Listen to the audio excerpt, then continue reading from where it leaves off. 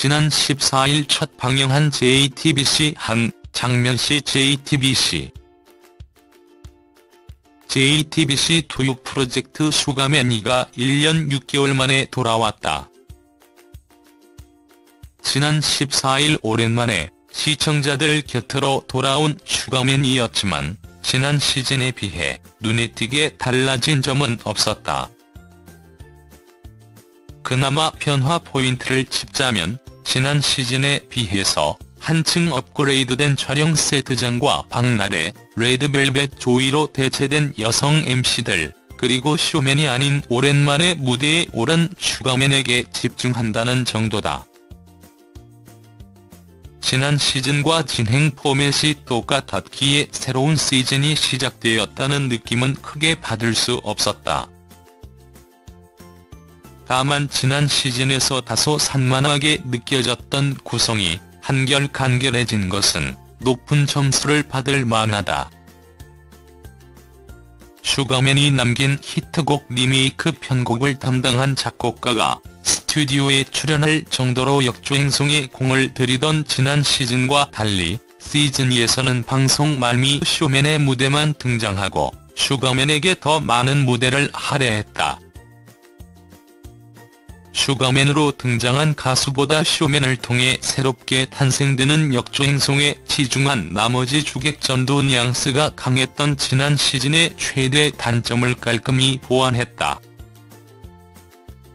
이런저런 부침으로 대중들에게 잊힌 영턱스 클럽. 지난 14일 첫 방영한 JTBC에 슈가맨으로 출연한 가수 이지연 씨 JTBC 시즌2의 새로운 시작을 알리는 첫 회인 만큼 이날 슈가맨으로 등장한 가수들도 특급이었다.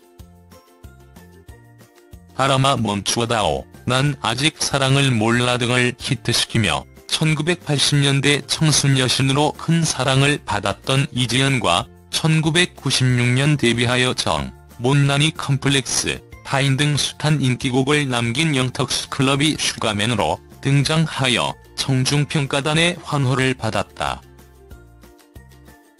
기자는 1980년대 중반 출생이라 그 이후에도 많은 사람들에게 불려진 노래들과 별개로 가수 이지연에 대한 기억은 거의 없지만 내가 청소년기였던 시절 맹활약했던 영턱스 클럽에 대한 기억은 또렷하다.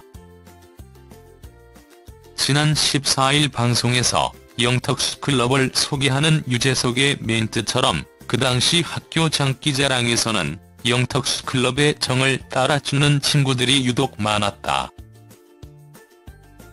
지금은 아이돌의 전설로 불리는 H.O.T와 같은 해에 데뷔를 했는데 데뷔 초기만 해도 H.O.T보다 반응이 좋았던 것으로 기억한다.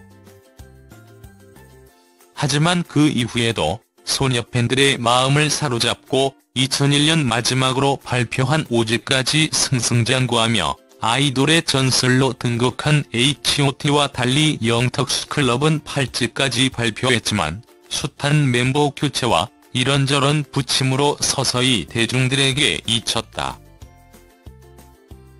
영턱스 클럽이 남긴 히트곡의 무게를 고려해봤을 때 슈가맨이 아닌 MBC 무한도전 토요일 토요일은 가수다에서 다룰 스케일이 아닐까 싶지만 지난 시즌에는 영턱스 클럽 못지않게 1990년대 초반 선풍적인 인기를 끌었던 노이즈가 슈가맨으로 등장했다. 1년 6개월 전에 종영한 지난 시즌에서 노이즈, 김민우, 디바, 투투, Y2K, 녹색 지대 등 많은 가수들이 슈가맨으로 등장했기 때문에 새롭게 등장할 만한 유명 옛 가수가 있을까 하는 의구심이 들기도 했지만 이지연, 영턱스 클럽이라는 소위 거물급을 내세우며 다음 회에 대한 기대를 높인 슈가맨이 제작진의 섭외도 인상적이다. 본방에 앞서 7일 방영한 를 통해에서 보고 싶은 가수들을 소개한 제작진은 과거를 통해서 많은 슈가맨들을 만날 수 있었지만 그럼에도 우리는 아직 프로그램에 나오지 않은 미지의 슈가맨에게 목이 마르다면서 새로운 시즌에 대한 자신감을 드러낸 바 있다. 에서 꼭 보고 싶은 가수. 지난 14일 첫 방영한 JTBC에 슈가맨으로 출연한 영턱스 클럽시 JTBC.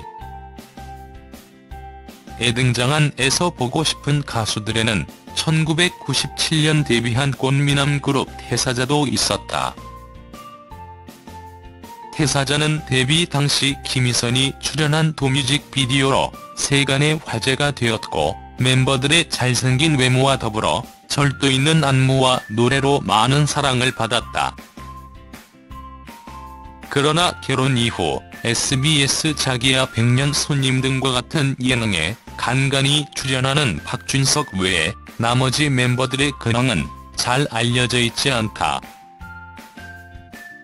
태사자는 도 외에도 타임, 애심 등 유명한 곡이 적지 않지만 박준석 외의 멤버들의 소식을 듣기 어렵다는 점에서 진정한 슈가맨으로 부를 만하다. 이외에도 지난 시즌 청중 평가단에 오